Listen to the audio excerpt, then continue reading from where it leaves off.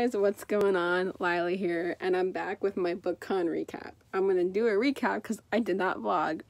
I'm a very socially awkward person. I have social. I, it's a newer thing that's happened in the last couple of years with the social anxiety thing for me. So like approaching everyone this year was very hard for me, but I did it, and I'm gonna explain that all throughout the video. So I'm gonna start with explaining what happened on Friday. So I didn't work on Friday because every year my boss puts me on for an evening shift and I didn't want that, so I just took off. So I did all my laundry, I read, I took care of my dog. That was fine. Didn't really get a lot of sleep because I was just so freaking excited because like I was meeting everyone and like it was one of those days where I my first year I really kind of went by myself.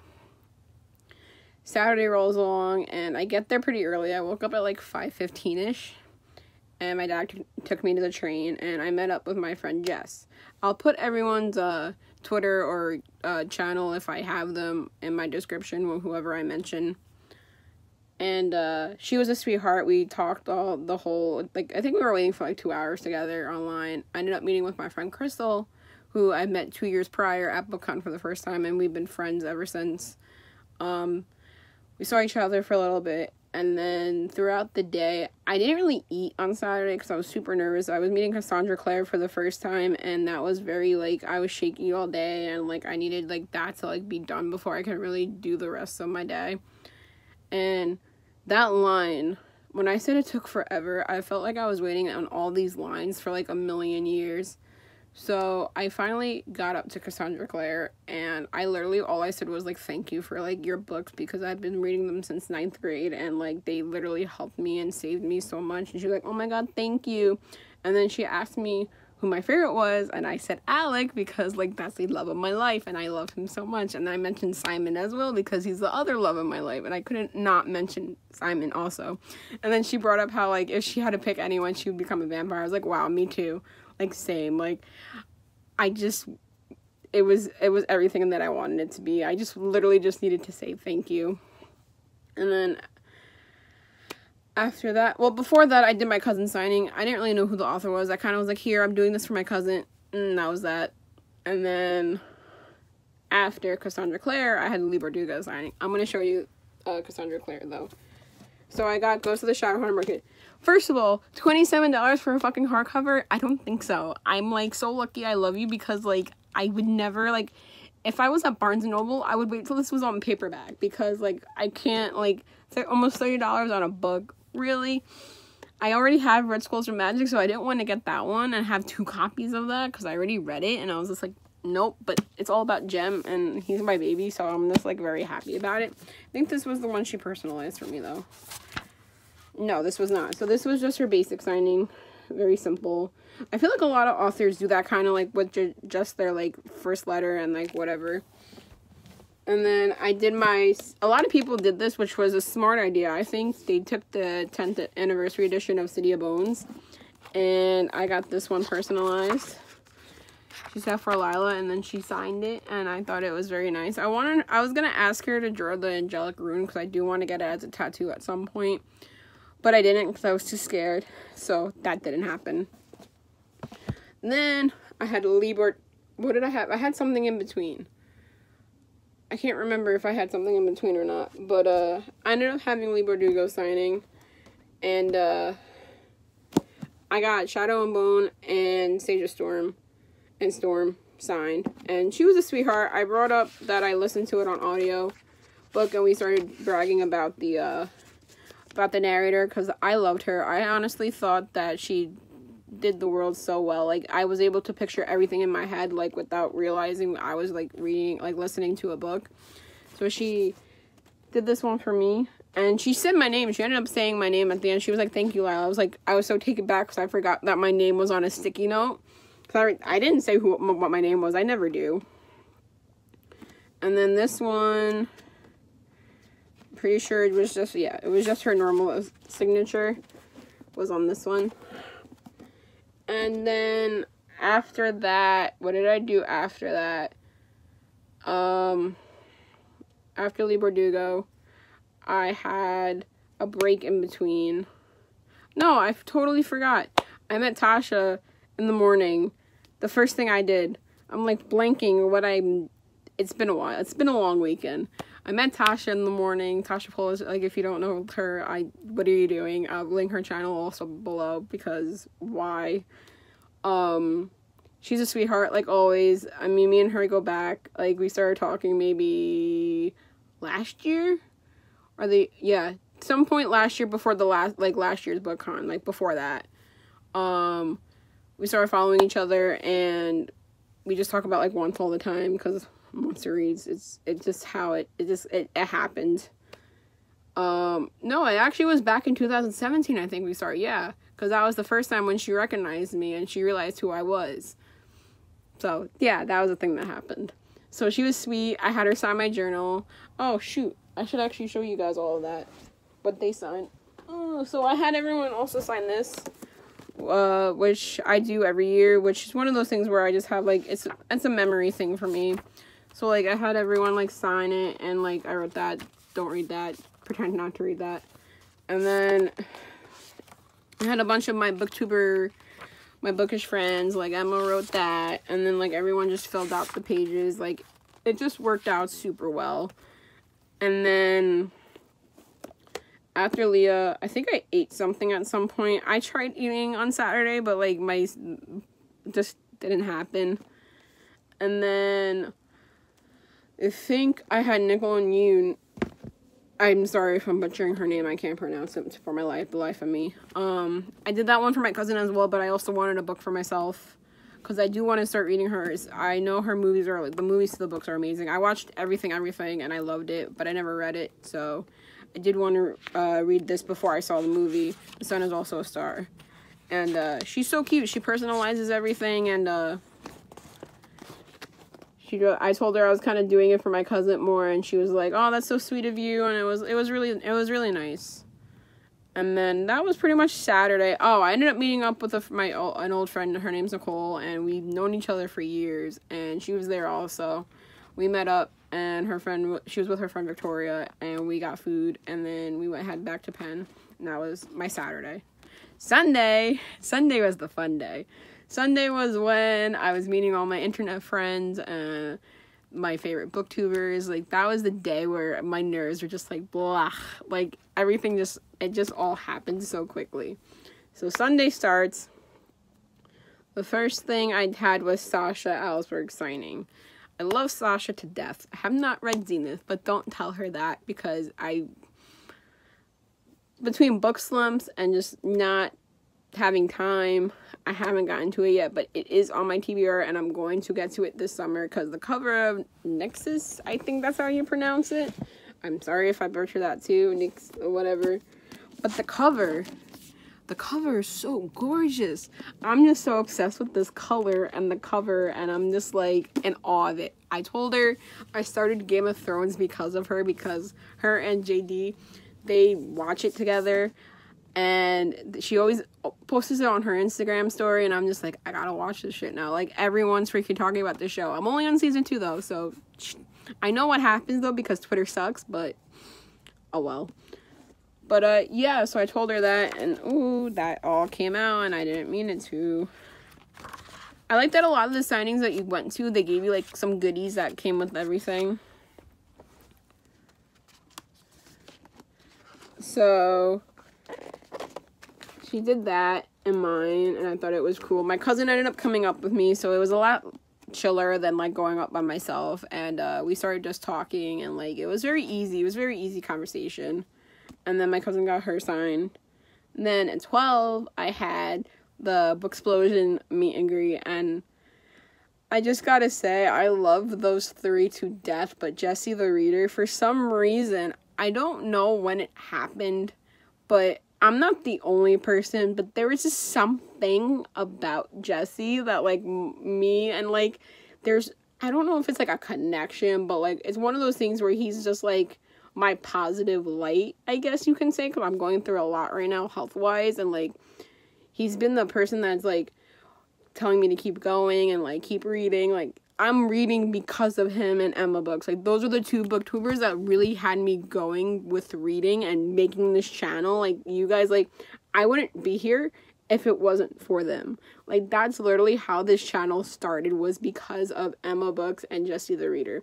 And Jesse and I have been talking on Instagram every now and then and I've been keeping him updated with my health. I'm going most likely going for heart surgery between this year and next year. And we don't know when exactly it's going to happen yet. So I have a I have an appointment on the 17th. It's pretty important. I don't know if it's going to be when we like determine everything or whatnot, but I'm definitely going to ask if anything's going to come from that because I do have Comic Con and BookCon next year, and I want to make sure that like I'm okay for these things.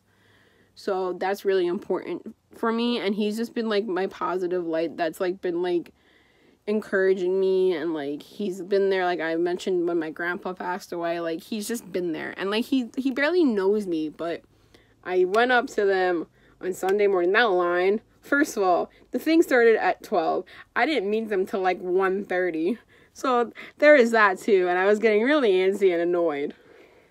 And they took their time with everyone and it was it was great. So I finally got up and I had Jesse's letter and I had this letter in my hand and it was with me yesterday because I ran into him on Saturday last year so I was making sure I just had it with me just in case but I didn't see him on Saturday. Um so I had the letter. I felt super bad I didn't have anything for Kat and Christine but like it was just like I needed to give him this letter because if I didn't I would have regretted like laying everything out. Like I just I needed to and he totally understood so I hugged them all. I said hi and I handed this thing to Jesse. I was only like literally I felt like I was only paying attention to him, but like I just I'm like I was just like I have to I have to do this or I'm to regret it. So I gave it to him and I was just like, I wanted to give this to you now, and just so that I can say thank you and like let everything out. And he was like, No, I totally understand. Like, thank you. And I don't know what he ended up doing with it. Wasn't really paying attention. I gave them all my journal to sign, so they were doing the girls were doing something while I was talking to Jesse. And then I asked them if we could do a hugging pose. I didn't really know what I was supposed to do in the pose, so I kind of just stood there like, I'm here. I'll post all the pictures towards the end. I'll do a little like montagey thing. Um and then we did a normal pose and then we did a hugging pose and they said thank you and I left. And that was great. It was fun. I had my uh the BookCon clan. Shout out to you guys cuz I love you. And uh we did our meetup at 2:15 and everyone like I approached everyone and I was like, "Is this for the photo at 2:15?" And I think her name is Venti if I'm pronouncing it right. I'm sorry if I butcher anyone's name, but uh, she was the one I first approached, and she was like, "Yeah," and I'm like, "I'm Lyla, I'm What's the Reason?" Everyone was like starting to realize me, and then I think Allie was her name, the one that like put it all together. If I really remember correctly, I'm literally gonna go through my journal because she did write in my journal, and uh, yes, Allie. She uh put it together and uh, she came up to me and she was like Lyla and I was like yeah and like it was the weirdest thing because everyone comes up to you and you're just like wow we're all human. Like we're all real. Like we're here. What? What is this so then we all started saying hi, and my friend Emma was finally there, and I kind of sneaked up to her, and uh, she hugged me, and I said hi, and then Tom ended up coming up. Uh, TJ reads the stars, I believe, is exactly his username. I'm sorry if I got that wrong too. Yes. Um, I've been following him. I think since he really started, I really think that's when I found him. I kind of he was kind of came up on my newsfeed, and I was like, wow, I love him. I don't know why, but there's just something about him. Um, so I was like, oh my god, if he if he's here, like I don't even want to approach him. Like I'm just I was so nervous, and like Emma's like really good friends with him, and like literally oh well, first I said hi to him, and like he realized who I was, and we hugged and like whatever, and that was great and then he was taking pictures and I wanted some like good pictures with him, but like I don't know if I'm ever gonna see those photos like exist. But uh he said thanks for the photos. It was really awkward because Emma kind of just like dragged me to the. She was like, "Come here," and I was like, "Can you be in the photos?" So it's less awkward. She literally didn't pay attention, and I was like, "Whatever, it's it's happening. It's this is what, what's going on." And we took the photos, then I asked him for a few selfies because I knew those were the only things I was gonna actually see, and he was like, "Of course." And like I also said, "Sorry, my journal." throughout the time, and he was a sweetheart, and I do love him. I love you, Tom. And I was meeting up with other friends, and I'm sorry if I don't mention your names, but I will mention all your your things down below. I don't remember everyone's names off the top of my head. Margaret, I think that's how you say her name. I'm sorry. I I don't know how everyone pronounces their names. I apologize, but she was an angel. I ended up seeing her online for the Book Explosion meetup, and we waved and we got really excited and then she came to the photo and we hugged and like screamed it was great it was one of those great things that like just happened and then after the photo i had what did i ha- oh we had the the panel at three there were, there were some small booktubers were doing a panel went to that jesse christine and kat were all sitting near me and I was like, oh, I want to say hi to Jesse, but like he's not hearing me, and I'm not gonna scream it because then everyone's gonna look. So I was like, I'm, I'm not gonna do it. And the girl in front of me was like, I know, I'm trying not to freak out. I'm like, okay, me too, same. So like we all felt the same thing throughout the day. It was great. But the problem I had with BookCon this year is that the bigger booktubers do deserve some kind of security or like at least a staff member with them because like there was no security and Christine her book just came out this year. So like she was having a bunch of girls like came come up to her to sign. And Jenna literally had to be like, "Yo, can you do this later?" Like it, it felt so bad for them. Like they literally had no space of their own. So that happened at the panel. I dipped out of the panel to get food so that before the meet and greet for later for the rest of them, I wasn't like starving through it. The, first of all, that thing can we just talk about that? That thing was so unorganized, and I feel so bad for the booktubers that were part of it because there was nothing security wise. We were put in this giant room with tables and like uh, a stage when it was just a meet and greet. Normally it's in 1E03, which is the normal meet and greet room. I guess because this year there was just so many of them, they wanted a bigger a bigger space. There was a lot of us that ended up turning up for it. So they were starting to call it table by table, and then all of a sudden it was like, just do what you want. You had five minutes left. I saw Tasha again. I saw Spencer, uh, Common Spencer. I love him so much. He's like the sweetest angel ever.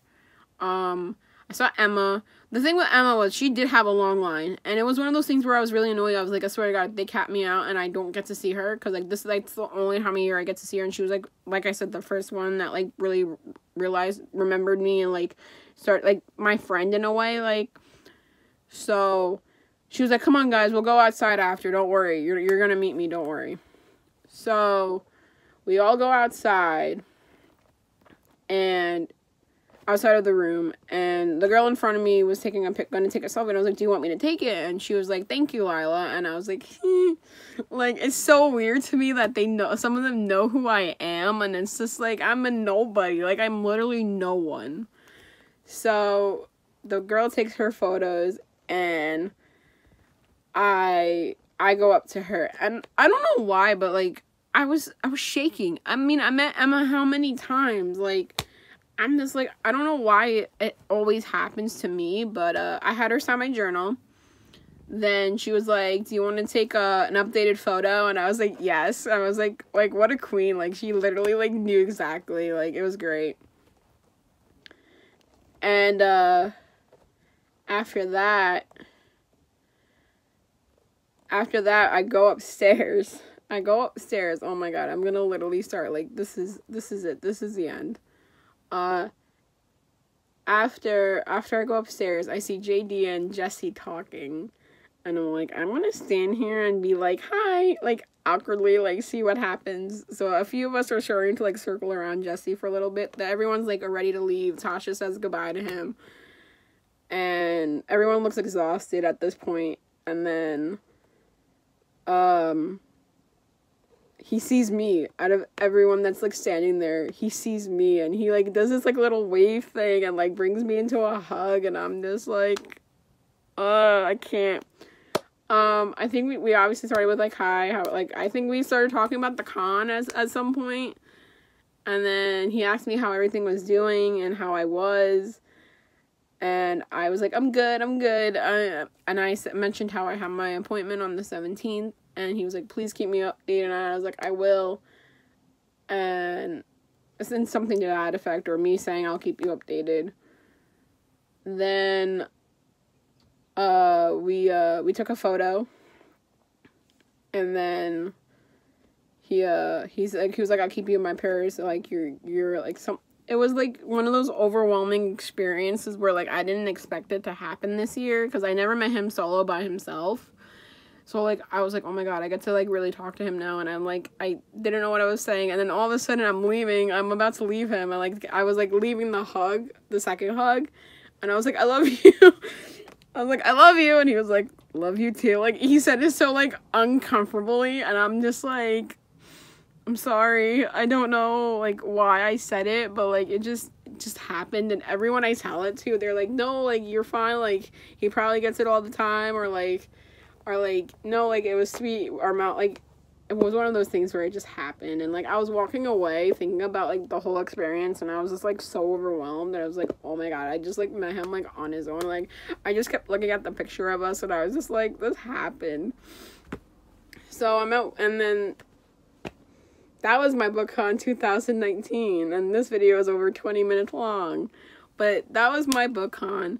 If I met you, I'm going to put all the photos that I took or that we have at the end. I'm going to do a little montagey thing because I failed at vlogging, like I said.